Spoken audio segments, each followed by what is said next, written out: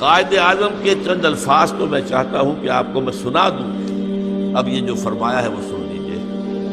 तुम जानते हो जब मुझे ये एहसास होता है कि पाकिस्तान बन चुका है तो मेरी रूह को किस कदर इतमान होता है? ये मुश्किल काम था और मैं अकेला इसे कभी नहीं कर सकता था। मेरा ईमान है कि ये रसूल खुदा सल्लल्लाहु अलैहि का रूहानी फैज है कि पाकिस्तान वजूद में आए अब ये पाकिस्तानियों का फ़र्ज़ है कि वो उसे खिलाफत रास्ता का नमूना बनाए, ताकि खुदा अपना वादा पूरा करे और मुसलमानों को पूरी ज़मीन की बात मैं थी,